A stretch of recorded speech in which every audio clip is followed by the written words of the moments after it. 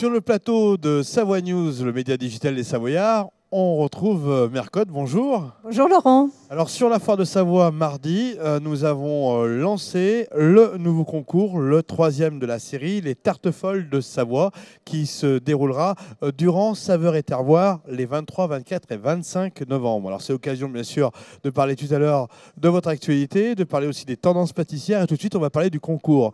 Les tartes folles de Savoie, c'est la troisième édition après deux précédentes qui concernaient les gâteaux de Savoie, et les gâteaux de voyage.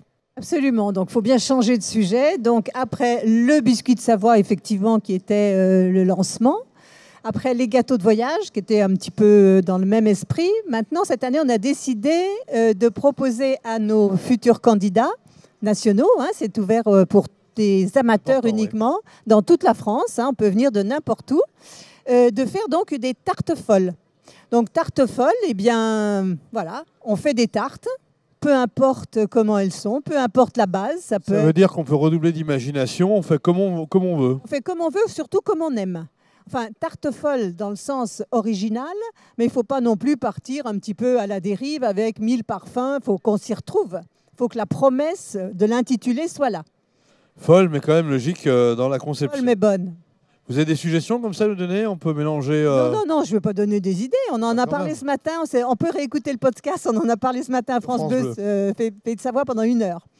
En fait, euh, les inscriptions sont à partir donc euh, d'aujourd'hui et les candidats ont jusqu'au 4 novembre pour envoyer la photo de leur recette et leur recette correctement rédigée sur le site concours saveur et terroir.fr.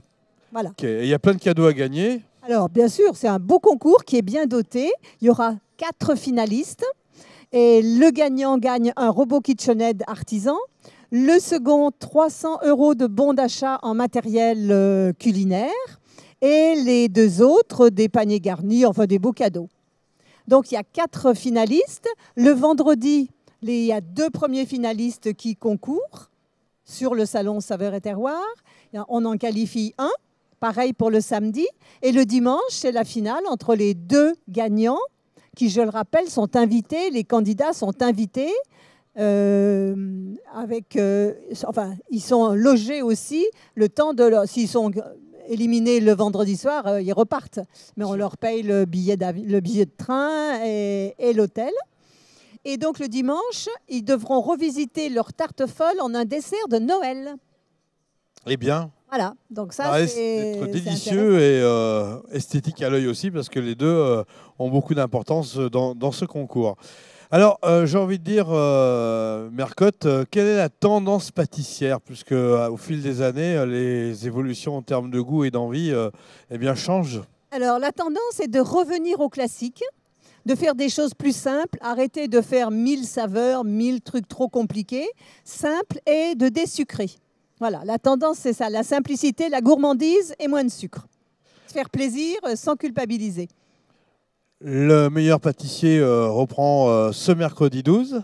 Alors, le meilleur M6. pâtissier redémarre en avance cette année par rapport aux autres années, puisqu'on commence sur le thème de la rentrée ce mercredi 12 septembre et pendant 10 semaines.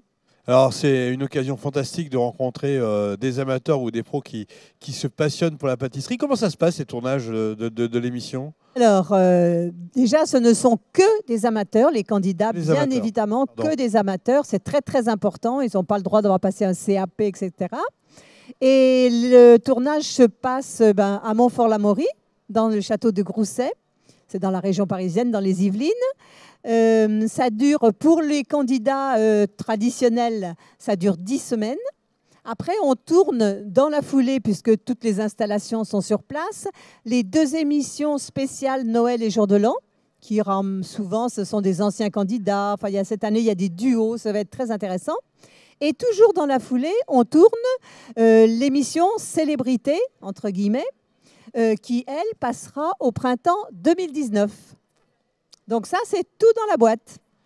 Et puis, bien sûr, l'actualité, c'est aussi en, en Savoie, en pays de Savoie, avec euh, France Bleu, la, la rubrique quotidienne. Alors, ah oui, je donne une astuce tous les jours à France Bleu, euh, du lundi au vendredi, à 11h moins 10. Voilà, j'ai une petite. On s'amuse bien avec Serge Carbonel. C'est plutôt sur euh, le signe de la bonne humeur. On parle de relais dessert Alors euh, oui, par exemple, pour notre concours Saveur et Terroir, le président du jury cette année, c'est Patrick Agnolet, qui est relais dessert à Annecy-le-Vieux et à la Clusiac. qui a deux belles pâtisseries. Relais dessert, c'est une association euh, qui regroupe euh, parmi les meilleurs pâtissiers. Il y a une centaine de membres à peu près. C'est une organisation internationale, c'est une association internationale basée sur la transmission et le partage, l'entraide entre les pâtissiers et surtout des pâtissiers qui font de la qualité, de bonnes matières premières, euh, de la qualité, du beau travail. Et à Chambéry, on a Cédric Pernaud, au Fidèle Berger, qui est relais dessert depuis maintenant deux ans. On va parler d'un village international de la gastronomie pour euh, Good de France. Voilà, donc les 21, 22, 23 septembre à Paris, au pied de la Tour Eiffel, j'y serai d'ailleurs, il y a le village international de la gastronomie avec euh, des cuisines du monde entier. Je crois qu'il y a plus de 60 pays représentés. Cuba d'ailleurs est représenté aussi. Et c'est tout à fait convivial. Il n'y a pas que de la cuisine, il y a de l'art de la table, il y a des danses, il y a des, euh, plein de choses, plein de manifestations. C'est ouvert au public, c'est gratuit, on peut venir, on déguste. C'est la grande fête de la gastronomie, mais dans toute la France, ce week-end-là, c'est le week-end. On est associé avec le président, c'est Guillaume Gomez qui est le chef de l'Élysée, et un autre monsieur dont j'ai oublié le nom, qui est le président de Ringis, du marché de Ringis. Qu'est-ce qui anime euh, Mercotte euh, après toutes ces années euh, de chroniqueuse, d'œil critique, etc. Bah, ça maintient en forme de faire ce qu'on aime. Moi, ça m'amuse de faire ce que je fais. Donc ça maintient en forme, c'est super. Et les macarons? Les macarons? Oh, les macarons, j'en ai ras-le-bol. Hein. non, bah, c'est très bien, mais j'en ai marre d'en faire, donc je ne vais pas en faire à saveur et terroir. Non, non, c'est fini. J'en ai fait pendant 20 ans ou presque. Merci euh, Mercode d'être venu sur le plateau de Savoie News et à, très vite pour ce concours euh, des tartes folles de Savoie. De Savoie. Merci Laurent.